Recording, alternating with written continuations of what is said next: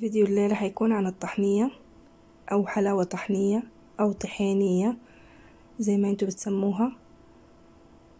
طحنية نظيفة جدا في البيت دسمة وسهلة جدا في عملها بثلاثة مكونات بس متماسكة وبجد رهيبة لازم تجربوها.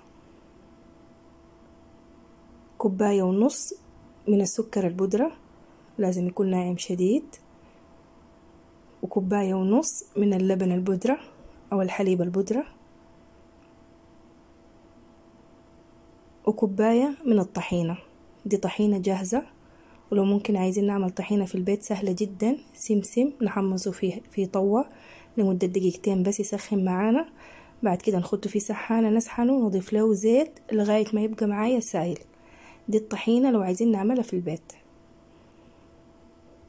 هنخلط المكونات التلاتة ديل مع بعض كويس جدا لغاية ما يتحصل على عجينة كده رملية زي الرملة بتاعت البحر. في نفس اللحظة زي ما هي رملية في نفس اللحظة لو ضغطناها كده بتتماسك تبقى معانا قطعة واحدة كده هي جاهزة معانا. أي علبة عندنا في البيت نغلفها بفويل بلاستيك عشان تسهل بعدين معانا إنها تطلع. تسهل طلوع الطحنية. هننزل الطحنية شوية شوية ونضغطها. لازم آه مرحلة الضغطة دي لازم نضغطها ونكبسها كويس جدا عشان تطلع معانا قطعة واحدة. هننزل الكمية بالتدريج لغاية ما ننزلها كاملة وبعد كده بأي كوباية عندنا نكبسها كويس جدا. وكده هي جاهزة معانا. شايفينها سهلة جدا في عملها ما بتاخد وقت.